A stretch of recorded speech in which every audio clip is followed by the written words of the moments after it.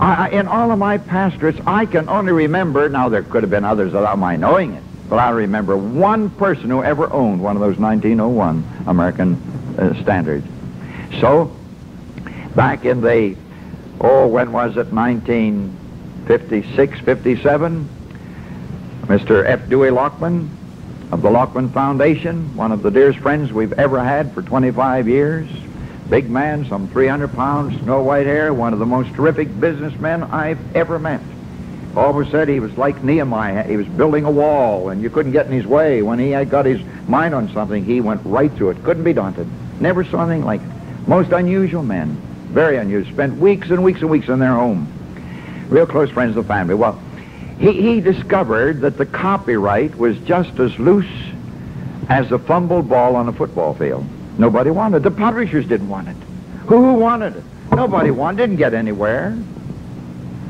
Mr. Lockman got in touch with me and said, uh, would, would you and Ann come out and, and spend some weeks with us and we'll work on a feasibility report. I, I can pick up the copyright to the 1901 if it seems advisable. Well, up till that time, I thought the Westcott and Hort was the text. You, you, were, you're intelligent if you believed in the Westcott and Hort. Some of the finest people in the world believe in, in that Greek text. The finest leaders we have today. You'd be surprised. If I told you, you wouldn't believe it. They haven't gone into it just as I hadn't gone into it, just taking for granted. But at any rate, we went out. We started on a feasibility report, and I encouraged him to go ahead with it. I'm afraid I'm in trouble with the Lord. I encouraged him to go ahead with it. We, we, we laid the groundwork. I wrote the format. I, I helped to interview some of the translators. I sat with the translators. I wrote the preface. When you see the New American Standard, they're my words. Well, when I got my copy, I got one of the 50 deluxe copies that were printed. Mine was number seven, blue, light blue cover. But it was a big, rather big, and I couldn't carry it with me. And I, I never really looked at it. I just took for granted it was done as we started it, you know, until some of my friends across the country began to learn that I had some part in it, and they started saying, what about this? What about this? Especially Dr. David Otis Fuller in Grand Rapids. I've known him for 35 years, and he'd say, he always called me Frank, I called him Duke. He said, Frank, what about this? You had part in it. What, what about this? What about this? Well, first, know, I thought, no, wait a minute. Let's don't go overboard. Let's don't be too critical. You know how you justify yourself the last minute.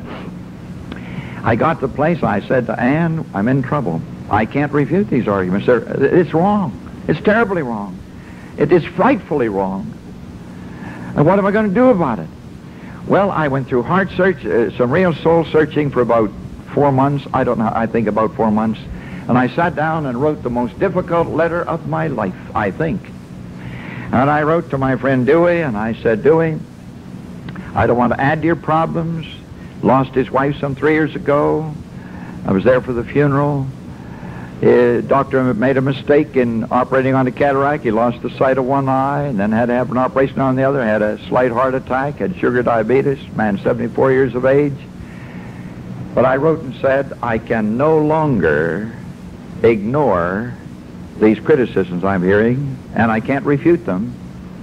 The only thing I can do, and dear brother, I have nothing against you, and I can witness at the judgment seat of Christ and before men were ever ago that you were 100% sincere. He's not a translator. He's not, he's not schooled in language or anything. He's just a businessman. He did the promoting. He had the money. He did the promoting. So I, I said, he did it conscientiously. He wanted absolutely right. He thought it was right.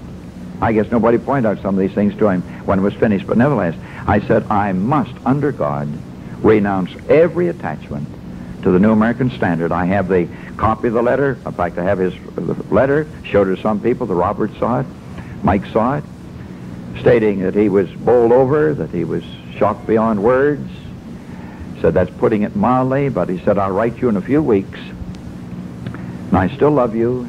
To me, you're going to be Franklin, my friend, throughout the course. And he said, I'll write you in three weeks. But he won't write me now. He was to be married, sent us an invitation to come to the reception. Standing in the courtroom, I mean in the county court by the desk, the clerk said, what is your full name, sir? And he said, Franklin Dewey. And that's the last word he spoke on this earth. So he was buried two days before he was supposed to be married, and he's with the Lord. He loves the Lord. He knows different now. But I tell you, dear people, you are going to ha- somebody's going to have to stand, and re- no matter if you stand against the, the every everyone else, stand.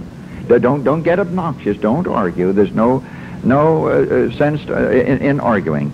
But nevertheless, that's where the New American Standard uh, stands in connection with the authorized version. Now, let me.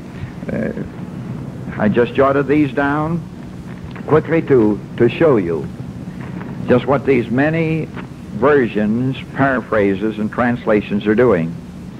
They cause, first, they cause widespread confusion, because everywhere we go, people say, what do you think of this? What do you think of this? What do you think of this? Well, what do young people think when they hear all of that? Two, they discourage memorization. Who's going to memorize when each one has a different Bible, different translation? They obviate the use of the concordance. Where are you going to find a concordance for Good News for Modern Man or any of these others? You're going to find one. You're going to have to have a concordance for everyone. Well, you'd have a lot of concordances. Four, they provide opportunity for perverting the truth. It makes a marvelous, with all of these translation versions, each one trying to get a little different slant from the others. Make a different. If it isn't different, why, why get, why, why have a new effort? Marvelous opportunity for the devil to slip in uh, his perverting influence. Five, these many translations make teaching of the Bible difficult, and I'm finding that more and more as I go around the country. I mentioned this thing the other night, but how could a mathematics professor or instructor teach a certain particular problem in a class if the class had about six or eight different textbooks? How about that? Where, where are some of these teachers? Where's Sister Arlene? Are you in here? I thought I saw you. There. Yeah, how, how could you do it? How could you do it? Well, they elicit profitless argu- argumentation because everywhere we go they say, well, no, this one is more accurate. Well, what, which is much more accurate? How do they know? And this is no reflection because I would have done press a few years ago. In, in, in uh, Christian Light magazine, I got this. My dear friend, Dr. George Sweeting, President Moody Bible Institute, one of the sweetest, dearest men you ever met. He's wonderfully named. It's going to be, he's starting today down right near my home at uh, Southern Keswick. If I'm back by the end of the week, I expect to see him and go and talk to you about these things. When he was asked for his recommendation of the New American Standard, he said, I like it because it reads freely. You read it yourself. It's, it's in the ads in various magazines. And he said, I particularly like it because it's so near to the original. I'm going to say now, George, what is the original? Have you ever seen it? There isn't any original. There isn't any original. Some will say, well, where did Erasmus uh, get his manuscripts? Well, let me tell you something. He didn't have to have any manuscripts. He did, but he didn't have... Where, where did Moses get his manuscripts? He didn't have any. Holy men of old were borne along by the Holy Ghost as God Almighty transmitted his word to men. Peter and Paul didn't have any manuscripts. God spoke to them, and God could have spoken to Erasmus even without a manuscript, but he had manuscripts, and he knew them. Oh, uh, lest I forget it before I read these others, and one of these questions here, somebody says, how can we know we have the whole truth? Well, uh, just simply by believing God. And what do I mean by that? Uh, John 16, 13, when he, the Spirit of truth, is come, he will guide you into how much? Tell me. Tell me now. All. And if we don't have all truth, the Holy Spirit isn't doing his work. We have to have all truth for him to lead us into all truth. And there are many, many other That, did I say that a little loudly? Again, the many, many versions incur an enormous waste of the Lord's money. I've commented on that just a little earlier. Just one in two years bringing in $22 million. That could have sent a lot of missionaries out. And then this, let's not forget, there's just so many facets, so many aspects of this. Everywhere we go, people saying this is exactly what my good friend Ken Taylor said when he got out the, the, the, the Living Bible. Said he found that his children couldn't understand the authorized version very well, but could understand if he stepped it down for them. Well, I want to tell you something. Up until recent years, till the devil started stirring up the atmosphere, nobody seemed to have any trouble understanding God's Word who was born again. Why? Because You've heard this 101 times. Would you let me make it 102 times? The Bible is the only textbook. Now get this. The Bible is the only textbook that has the author present every time it's studied. Why, uh, Robert Murray McCheyne, just a young man, died at 29. And uh, Sister Arlene, he, he uh, gave vent to a lot of Latin when he, sometimes Greek, when he wanted to say something. Why, he just, just poured out his heart in some other language. I mean, not, not an unknown language. Such as, let me see if I can bring up one. Uh, and he was troubled about himself, and he heard, heard a preacher exalting the Lord Jesus, and he said, uh, let me see if I could get this. Would you go out just for a minute, Sister Arlene? I don't want a Latin teacher here. Something like this. Uh, o quam humilium uh, sed uh, diligentissimum oh, how humble and yet how energetic, you know. And then he, he, he listened to him a little further out of his heart. He said, uh, oh, quam dejectum, sed vigilum. Uh, so self-effacing, and yet so vigilant, so so alert. And then, then he said to himself, as he thought of his heart, he says, non pacem habet, my heart has no peace. Where? Why? Peccatum apud Fores manet, sin lieth at my door. And then he said, what's the word for help? J-U-V-A. How do you pronounce that? Do you pronounce the, the J? But anyway, he cried out, help. Uh, Pater, fili, et Spiritus. Help, Father, Son, and Holy Spirit. You see, people who knew the Holy Spirit, knew God, uh, they, they would say, well, Lord, you can lead me into your truth. The, the great difficulty is we're trying to compensate for it we don't know the Holy Spirit as we should. We don't know our teacher. We're not hearing. If we could hear his voice, we would have no trouble learning his word from the authorized version.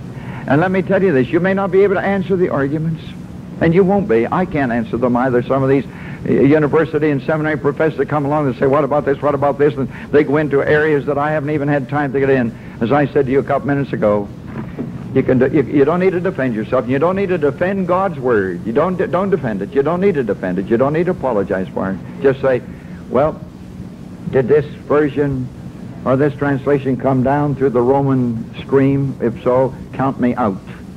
Whatever you say about Erasmus and Tyndale, that's what I want because it's given me. And besides, we've had this for 360 some years.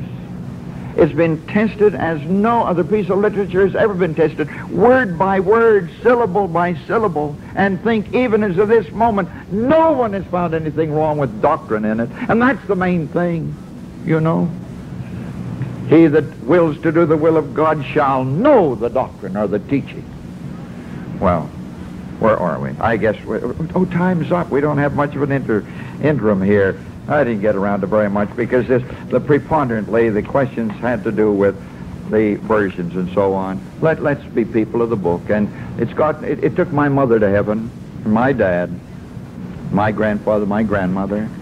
It, it was Moody's book. It was Livingstone's book. J.C. Studd gave up his fortune to take this book to Africa. And I don't feel ashamed to carry it the rest of my journey. It's God's book. Our Father, we thank thee and praise thee for thy word. Help us to love it and preach it and teach it and tell everybody we can the good news through thy word. In Jesus' name, amen.